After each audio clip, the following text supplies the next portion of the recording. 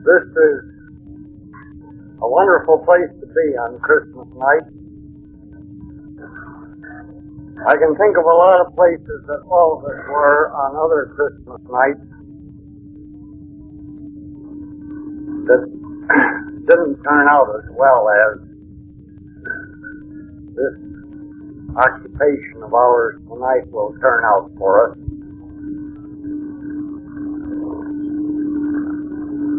In fact, I only have to think back to 11 years ago this Christmas night to think of things that were not fitting and proper for Christmas.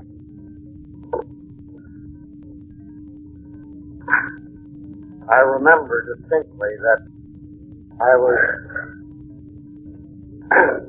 very drunk and was not doing any of the things that I had been asked do. However, I won't go into that or very much of my drinking career because I've been asked to speak particularly tonight on the history of AA in Detroit, the early history. And in order to do that adequately, I'll have to skim over my own story down to a point where I approached the necessary conditions to join AA. In my case, that uh, meant because I was a stubborn and headstrong and conceited sort of a guy. That meant getting myself completely down and out before it occurred to me, even vaguely, that anything might be wrong with me.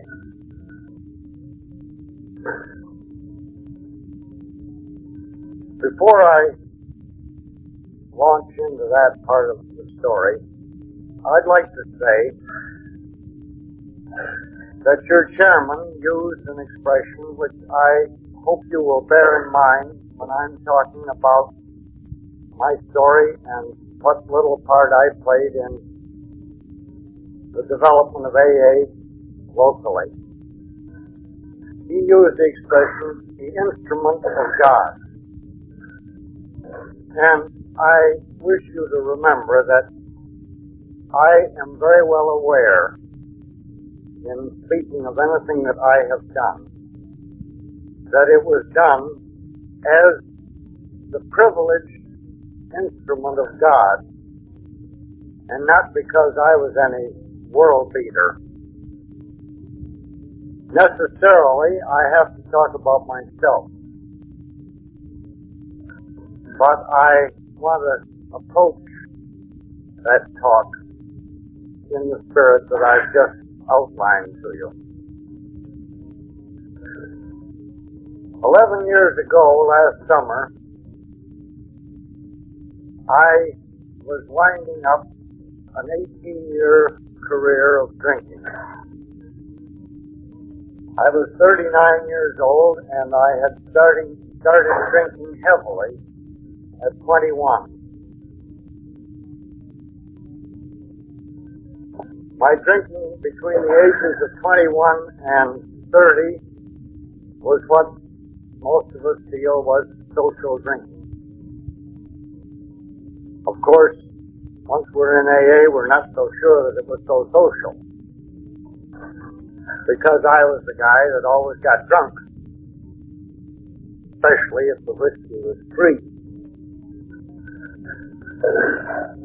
I think I used to really sincerely feel it was my bounden duty to take all I could consume in the way of free whiskey because it was free.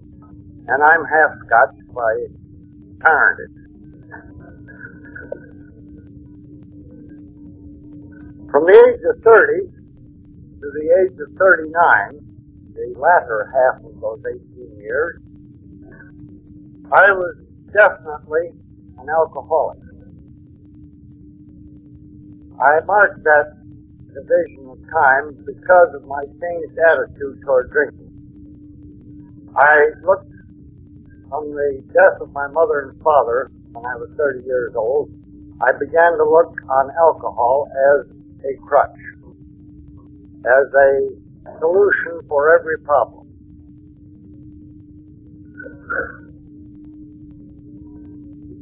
It proved to be such a wonderful solution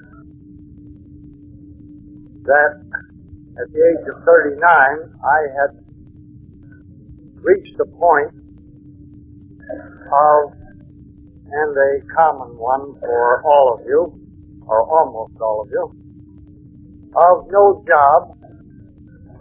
I hadn't been fired, I just quit. I didn't even quit, I just walked off the job. No money, no place to live, no help, no morale left, no will to live left. That was my condition in the summer of 1938.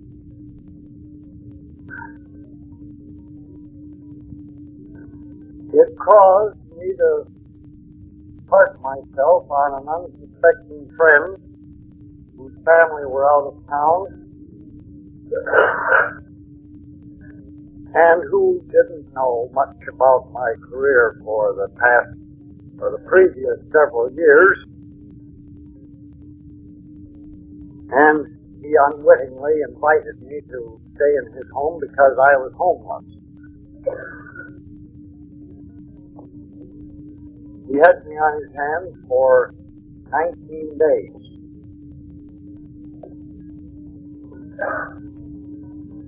Every one of those days, I was drunk. Continuously. I would come home, sleep off the effects of several hours drinking, crawl out of bed and go back to a school and get drunk.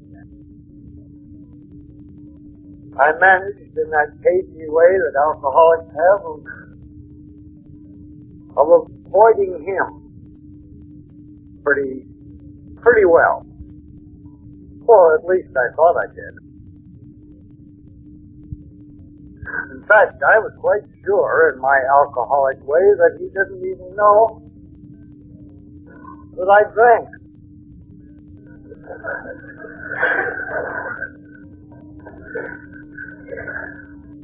How wrong I was about that, I would like to say that I went to him after I returned to Detroit a long time afterwards and was sober and was in AA and said, Ralph, uh, I had an idea that you, that I was keeping my drinking pretty carefully concealed from you, didn't you? Outside of the time that I slept on the back stairs because I couldn't find the room, did you have any idea of how bad I was? And he said, Did I? That I carried you up from the front doorstep twice and put you in bed. you passed, you passed out of the keyhole. I didn't even know it. I give you these few details merely to qualify myself as a legitimate member of AA.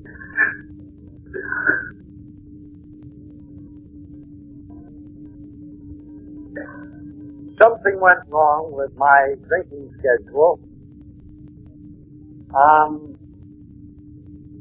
the 3rd of September on a Friday night. Instead of getting drunk in the morning, being asleep in the afternoon, and being out and getting drunk in the evening, and coming home after Ralph went to bed. I got tangled up somewhere and found myself at home in bed at 10 o'clock at night, and he was home too.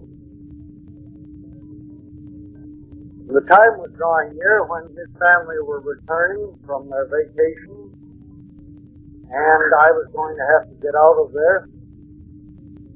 I was incapable of finding myself a room because I couldn't stay sober long enough to face a prospective landlady. And I had no money with which to pay room rent, although in that marvelous alcoholic way. I always had money to drink with. Now, don't ask me to explain that. I lay in bed thinking about approaching him. And I thought, no, he's been very good to me. He's done a great deal for me in the past. I don't want to bother him. I don't want to bother anybody anymore.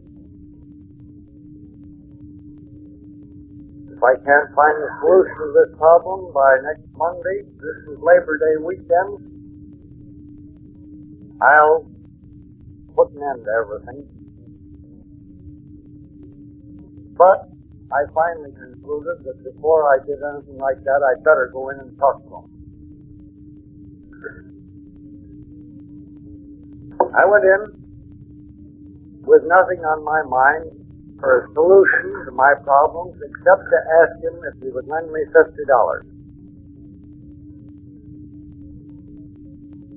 He got out of bed where he'd been reading and walked up and down the floor said, You don't need fifty dollars, you need a great deal more than that. Well, I agreed with him on that.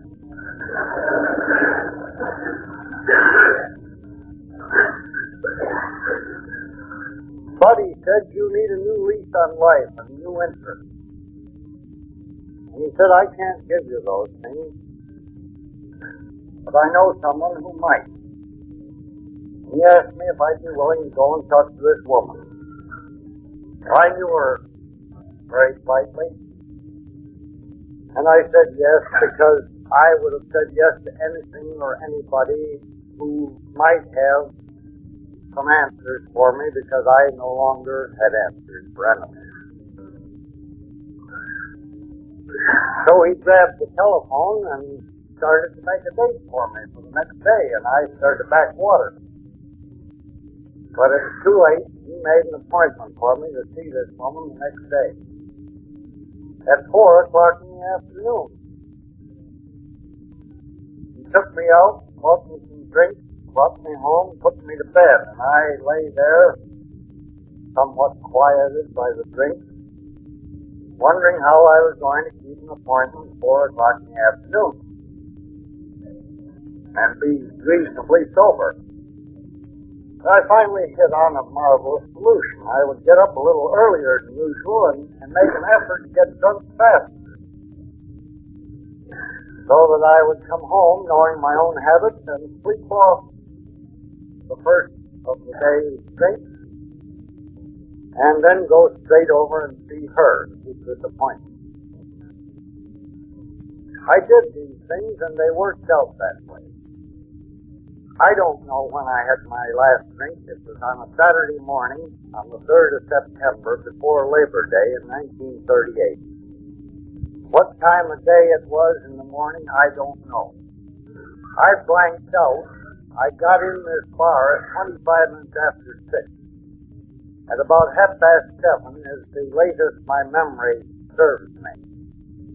What time I left there and went home, passed out, I don't know. I saw this woman, and to be brief, she offered me a chance to go down to Akron and meet some men who had found the solution to their problem which was my problem. She offered to take me, she and her husband offered to take me there and to do it the next day if I were willing to go. She, however, insisted that I make up my own mind about it, perfectly freely and without any pressure from her. This took me quite a while. I spent a long time in her house sitting there thinking about it. But I finally made the decision.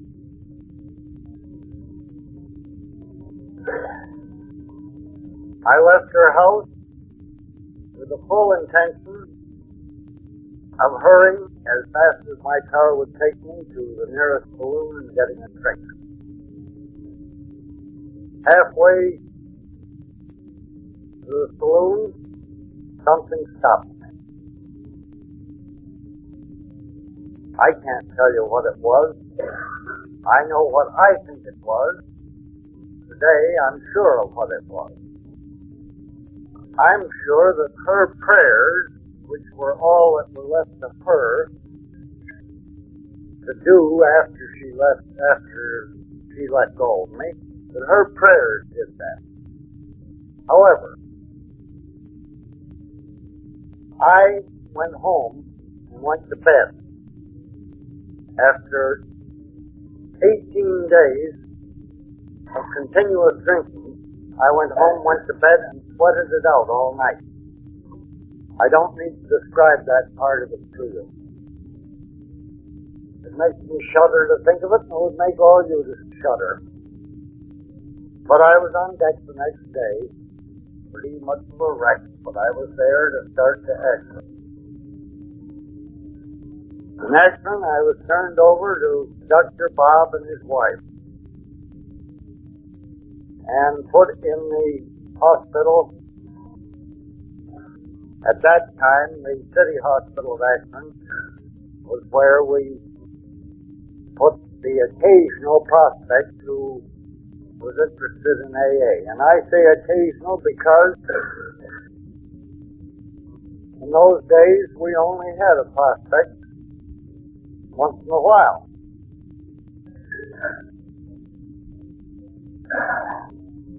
I spent Labor Day in the hospital reading Emmett Fox's Sermon on the Mount. It changed my entire outlook on life. It changed my direction.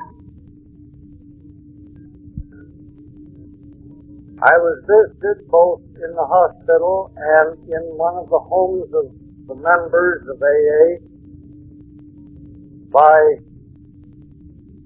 15 or 20 men who came to me with their stories, each one as different as could be from the next.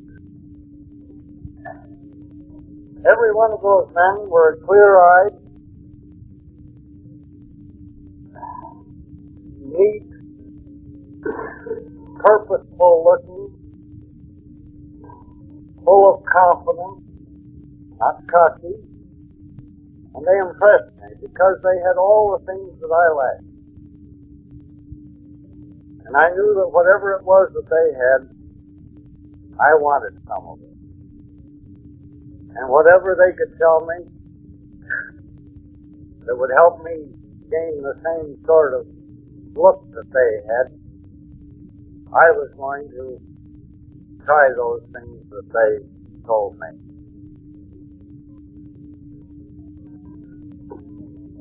My health was found to be practically, well, I don't know how to tell you about my health. Dr. Bob says that there wasn't much left of it. At any rate, it was ten and a half months later before I could go to work. And I lived with Dr. Bob and his wife during those ten and a half months. Many times during those months, I felt that it was very wrong for me to impose on them they were poor. All members of AA in those days were poor, by the way. In the 30s, you didn't go out and get a job just because you were willing to and were going to reform.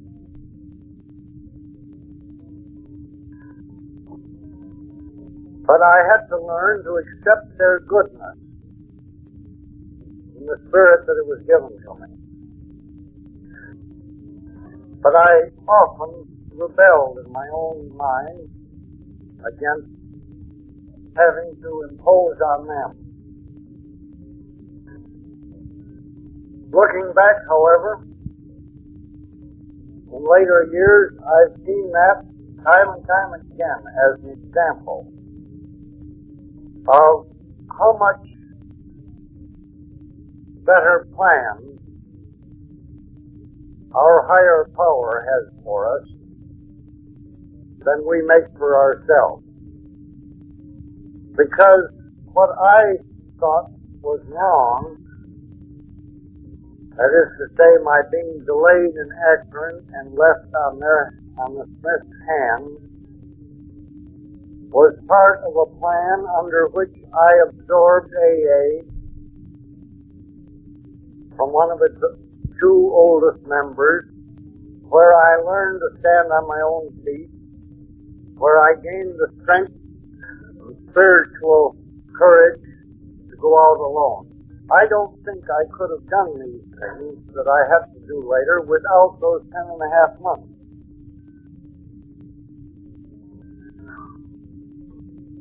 In March 1939, Bill Wilson was in Akron. He frequently stopped there whenever he could get some business excuse to come west. And he was sitting in the Smith kitchen with me drinking coffee, and he was on his way to Detroit. And I said, I certainly would like to go up there and see what the lay of the land is and look around and see what whether I can take hold yet or not. And he said, Why don't you? I said, Well, why don't I? Bill said, Let's go now. This was Sunday morning.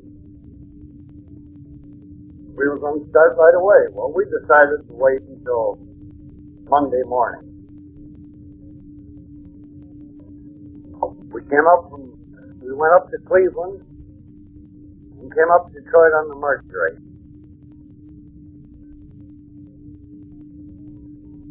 Bill spent Monday and Tuesday here with me.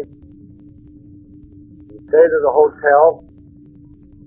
We visited some of my old friends and told them my story. Bill tended to his business. Some friends of mine asked me to stay on here for a while. Bill went back to New York. I stayed here and worked entirely on trying to make some AA contacts that would later on produce prospects. In order to get this picture, you've got to realize that at that time, alcoholism was, with the exception of a few advanced men who had spent time and study on it, such as Dr. Silkworth in New York, alcoholism was unknown as, as a disease. The alcoholic in the public mind was an ornery cuss who didn't want to stop drinking and had no willpower.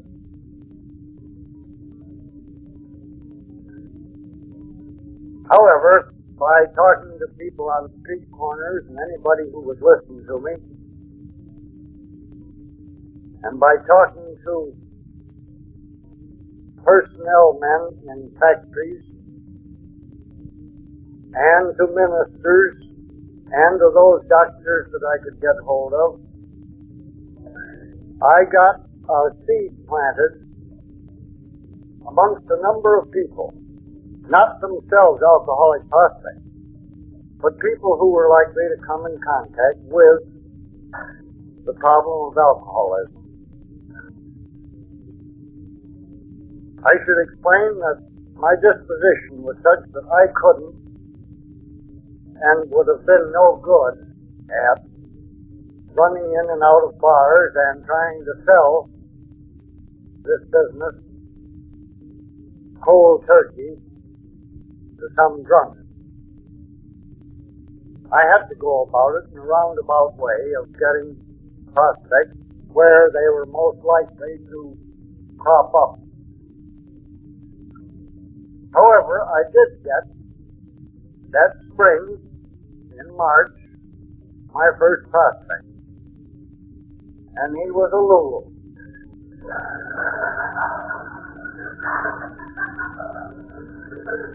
I was staying with a doctor, one of my closest friends. And he came home for supper one night and he said, I've got a man for you. He's down on Park Avenue in a dollar a day hotel. He's tried to commit suicide twice this week.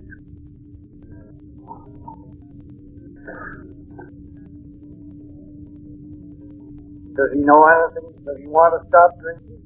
I don't know. Have you ever heard of us? No. Well, it's my duty to go and see him. I took a bus from the east side downtown and went through a lot of torture for half an hour on the bus. What was I going to say to this fellow? Every time I got all wrought up about it, I finally said to myself, wait a minute, your job is to get in the same room with that man and see what happens next. This wasn't a 24 hour program. This got down to be a 5 or 10 minute program.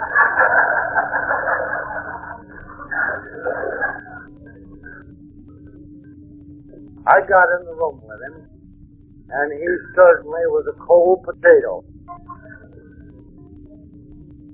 I found out afterwards from him that he thought I was a detective trying to find out whether he was drinking or not.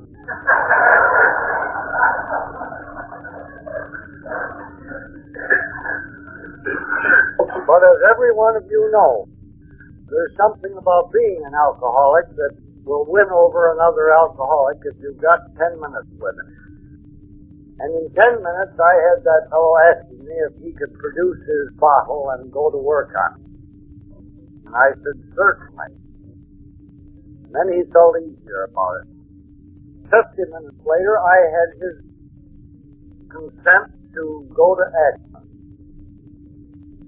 24 hours later, I had raised the money amongst his former friends to send him to. I'm afraid that most of them gave me donations of five and ten dollars with the thought that it would be fine to get him out of town. They, they didn't understand what I was talking about, but they were willing to contribute one last five dollar bill or ten dollar bill toward after they'd already thrown a lot of money down the sewer helping him.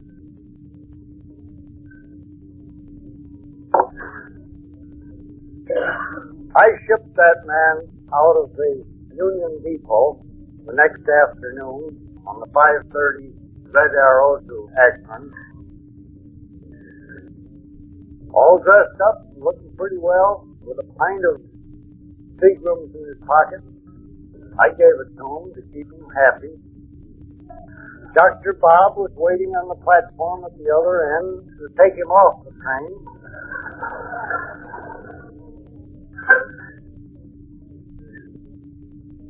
But the point is, I walked out of that station on a cloud. My feet weren't touching the ground.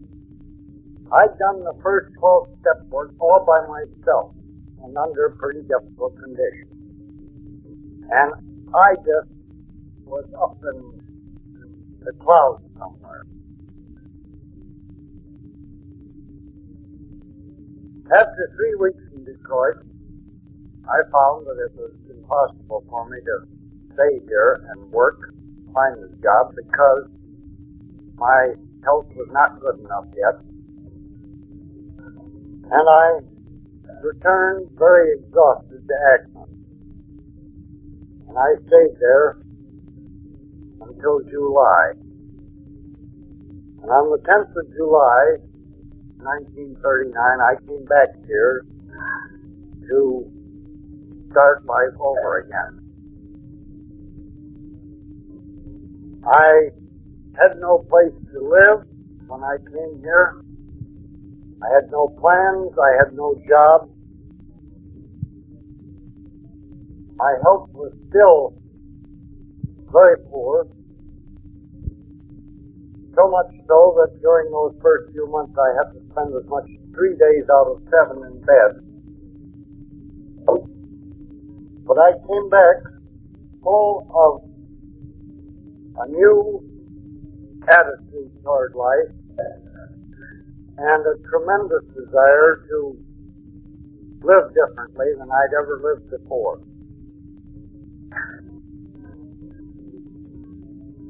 I made my living first six months selling hosiery and men's made-to-order shirts. I did this partly because it was very difficult to get a job, and I had to have a job that I could go to work at right away and bring home the bacon every night in order to pay room rent, and partly because it left me the freedom to do the AA work that I wanted to do.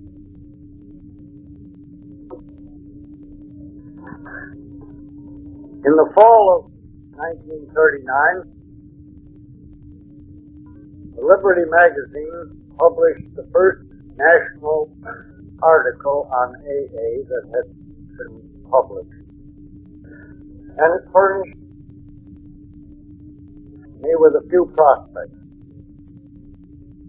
During the summer, I had had some other prospects as a result of the calls I had made in the spring. Thanksgiving rolled around, and I went back to Akron to visit the Smith. And I was very ashamed because I had nothing to show of AA group or AA activity. There were four people who had come, five people who had gone through my hands between the spring and Thanksgiving. Four of them were sober. Period. Of the four who were sober, one had no interest whatsoever in even talking He just uh, was sober and he'd gone his own way. Another one was living in a different city, although he had hailed from Detroit. The third one was doing very nicely, but, and the fourth one, both those were doing fine as far as staying sober was concerned, but they were not going to commit themselves to anything as definite as starting an AA group and being involved in something that might keep them sober too long.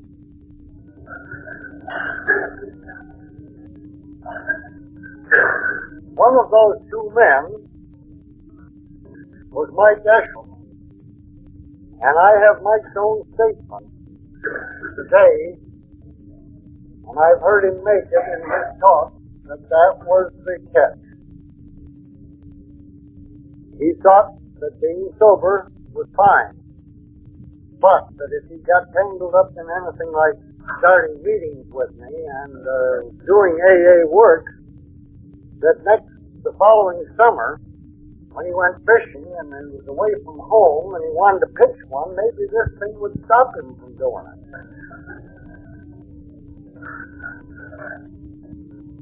How difficult that picture was you can imagine that Mike got sober about the middle of September, and it was at least the middle of December before he finally agreed to start having a meeting of some kind with me so that we could work on prospects together and have a regular weekly meeting. He and this one other member and I finally, in December, and I can't tell you the date, I was too busy to keep a diary, sat down at our first meeting. Together with one non-AA member, Sarah Klein, who was our moral support. I had an idea that until we had such a meeting every week, that we would never have a nucleus from which to grow and a point, a center which would, toward which people would gravitate. And it worked out that way. We no sooner began to sit down once a week together than we began to get prospects. And we held the meetings in my bedroom in a rooming house on Merrick Avenue, near the public library. By February, our meetings were so big that my bedroom was crowded. We were borrowing all the chairs from the third floor.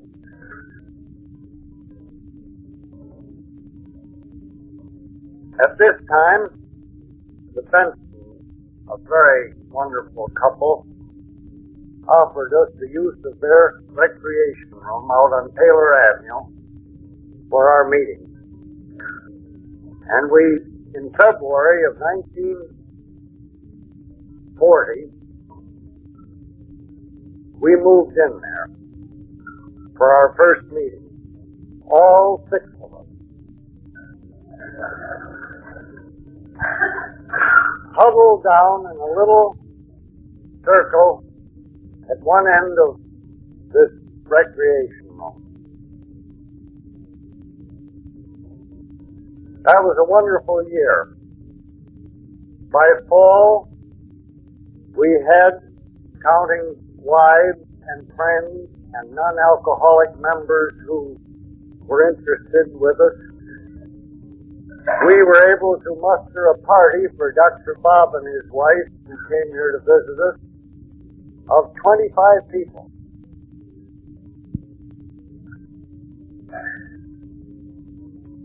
By February or March of 1941, February I believe, we had grown to the point where we were packed in tight in that recreation room and sitting, we're sitting on the basement stairs and in the furnace room.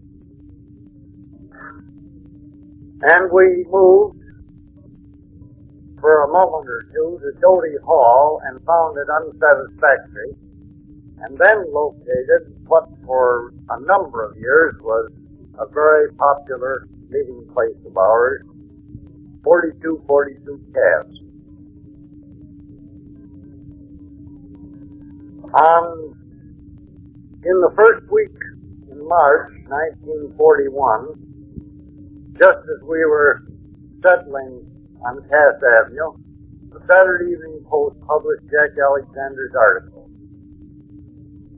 And we began to grow by leaps and bounds.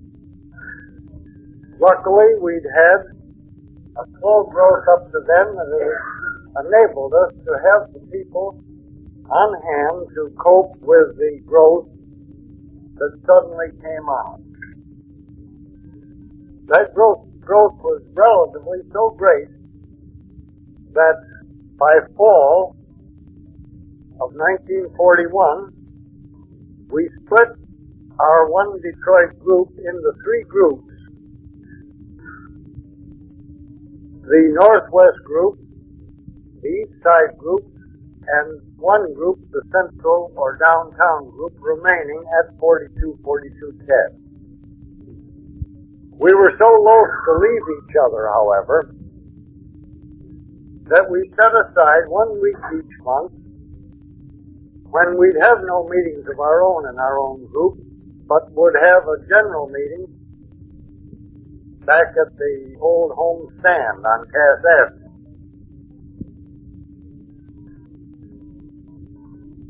Out of those three groups,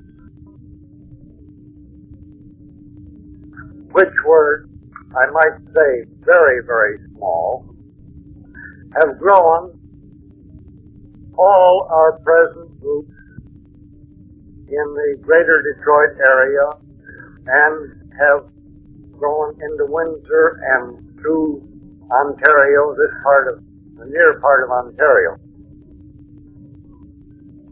So much for the statistical data on what happened in the forma- early formation of AA in Detroit. My dates are not very sure on a lot of these things, except approximately. But the thing I would like to point out to every one of you who are members of AA and who sometimes become discouraged with the behavior of your prospects, your babies, just remember that I had to have half a dozen of them before I got one who stayed continuously sober. And that there are only a handful of all those who came to us in the Benson basement days. There are only a handful today who are with us. It took a lot of work, a lot of prospects to produce some permanent members in those days. That was particularly true because of the lack of acceptance of AA by the public and by the alcoholic who needed help. Today, we're almost a household word. It's hard for you to, con- those of you who've come into AA more recently, to conceive of the conditions that I've tried to picture. I gave a talk at the, a Rotary Club when I was first back here. And when I got all through, I thought I'd explain alcoholism and our work in it more right down to the last day of my life. In AA, I found the things not only that enabled me to stop, but I found those things that enabled me to meet the problems of life instead of running away from them. AA offered me a chance to give myself to other people in order that I might save myself. And I want to mention one thing in that connection. When I came back here, I thought once for a little while, I struggled with this for a while. I began to find that people wouldn't accept what I was telling them. And I began to wonder what they were going to think of me. And I began to wonder how that was going to impair my chances of getting a good job one of these days. And I thought, why can't I go ahead and do AA work when the opportunity comes, but just keep my trap closed and uh, get a decent job? Why advertise myself as an alcoholic? I don't know how long I toyed with that, whether it was an hour or a day. But I finally was forced to the decision that if I wanted to stay sober, I was going to have to put AA up at the top of the list. And that I was going to have to do these things that I had been doing and keep doing them if I wanted happiness and sobriety. Never once in these past ten years regretted that decision. I not only got sobriety from it, but I got a degree of contentment happiness and joy which is simply impossible to describe. I could I couldn't begin to tell you what AA has meant to me and what the privilege of belonging to AA has meant. I came into it as an unwilling prospect who had no place else to go. And at the risk of telling something that many of you newer members may doubt and may wonder about, I'd like to say that if I could drink today, I wouldn't want to drink if I had to forfeit my membership in AA because it's the grandest thing that I know of. Thank you.